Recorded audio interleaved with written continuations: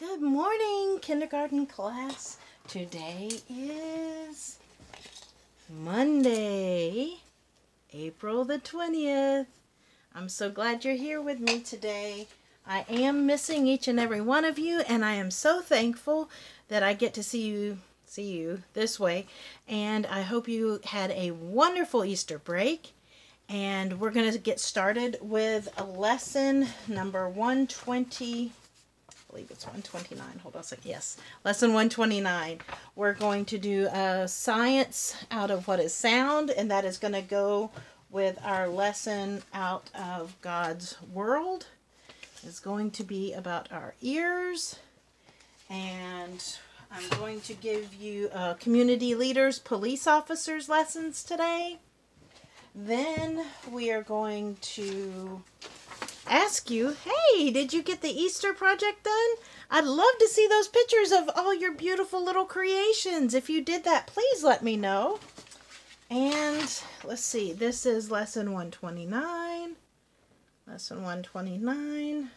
Not any new material there. Lesson 129 for uh, Bible work. Lesson 129 and Bible work. Okay, also 129 with numbers practice. Again, this is nothing new. We've already been covering these, but it is extra practice. Let's see, what else is 129? We have lesson 129, writing the J's. Now, if I'm not mistaken, we've already covered the J's in class but I will surely go over it again with you. I hope you are reading at home. You do not have to have these specific Abeka books to read at home. Please read daily with your parents or older siblings. And we're going to go ahead and start with the letter, the cursive letter J. Now, if you have one of these, the only two people that shouldn't have it is Ariella, possibly, and Layla, because this is Layla's. Sorry about that, sweetheart. Um, remember, you start where the dot is down at the bottom. You go up to the middle part. Start at the dot, go up to the middle, and then straight down into the basement and curve back the way you came. Okay, start at the bottom, go up to the middle part, go down to the basement, back the way you came, and then wave goodbye. Then you put the dot. You only put the dot after you've completed the word that it's in. So when you do jam, and remember that the A goes down to the bottom to start the next letter, whichever letter is next after A, it does not matter. The letter A has to touch the bottom, okay? Goes down to the bottom and then starts your next letter. Now remember for Jeep, the P goes above the center line, down into the basement, back the way you came from, does a little loop, and then out, okay? So it has the spike up here, and it has the loop backwards, okay? Don't forget the loop, and don't forget the spike upwards for Jeep, okay? Now, Layla, just push pause and copy these words on your paper, and you can do it. All right. So that is our cursive J. Cursive J. You see the directional arrows on that? That is your cursive lowercase j. We're already having you reading, you're writing, we're having the Bible, and here we go. What about our ears? Let's turn to God's World, page 12. Page 12. Okay? God gave me my ears. I use my ears to hear. My ears help keep me safe. I can hear raindrops fall. I will go inside. Speaking of raindrops, today we have a severe thunderstorm warning. Please be safe and stay inside. Stay away from the windows during lightning storms and be safe. Buzz, buzz, bees, buzz. I will stay away from the bees. A horn honk, honk, honk. I will stop and wait. My mother call, my father call, my older sibling call, I will obey quickly. What do we need our ears for? Sound. They help us, they alert us to problems, and they help us. Checking for vibrations. Can you see objects vibrate? Can you see it? You might see the top of a drum vibrate, you might also see the edge of a cymbal. This is a cymbal. Or a guitar vibrate, or the strings on a guitar vibrate. Stretch a rubber band over an empty box and pluck it. You can see the rubber band vibrate and hear the sounds that it makes. A sound becomes higher the more quickly an object vibrates.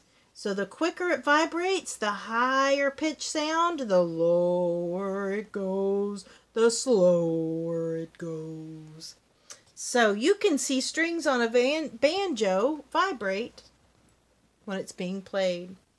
If you pinch a cymbal while it is ringing, if you grab the edges, the vibrations will stop because it'll stop moving. No sound. Sometimes you cannot see the vibrations, but you may be able to feel them. Hold your hand to your throat and hum a tune. You are feeling vibrations. When you stop humming, the vibrations stop too. The sound they make stops. Ah, mm. You know, you can put your finger on your nose when you hum.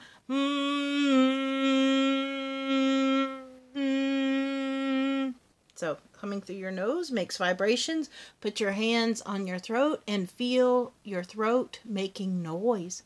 Your voice box vibrates. That's how it makes the voice. It vibrates, and that's how we get sound. Here's a question. If you hit a drum top and made it vibrate, what would happen? It makes sound. Yay, that is our science for today. What is sound?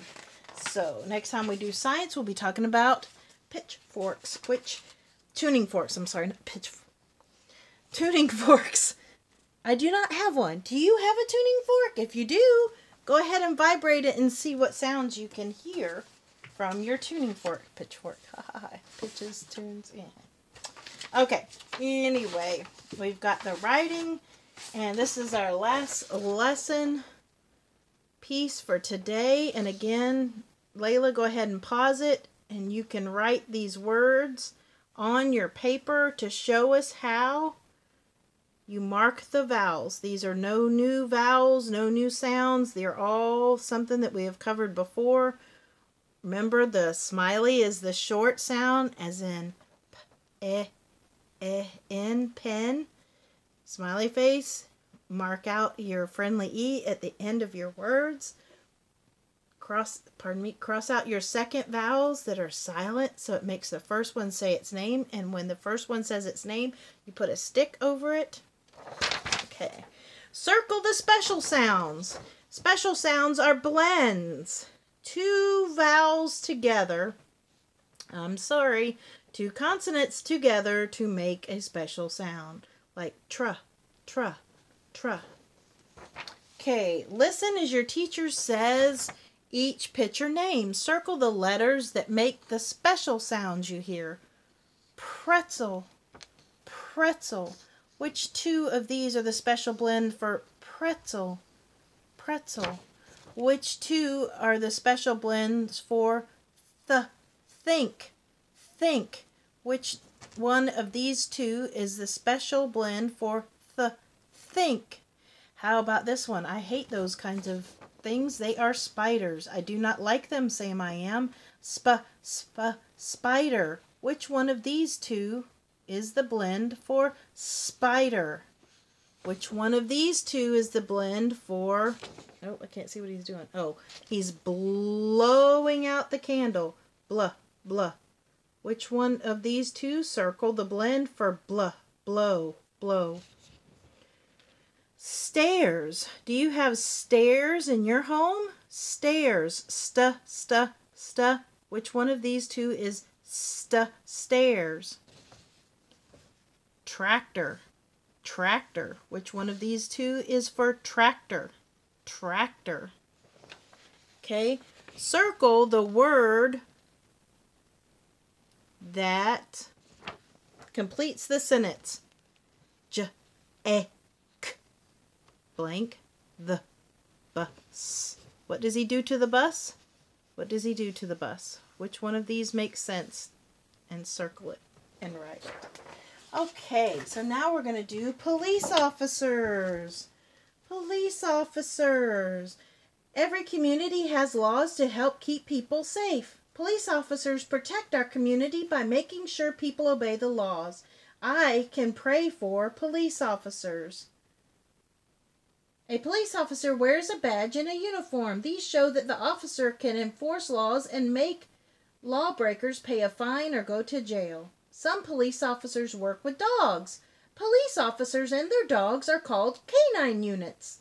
The dogs help the officers find the items that have been hidden. The dogs also work hard to keep the officers safe. If I am ever lost, I need to tell a police officer. The police officer is a friend. Here are the pictures that goes with it. Okay. A police officer can be a man or a woman. The police officer helps to keep our community safe by making sure that people obey the laws. The police officer is a friend. Children do not need to be afraid of him or her.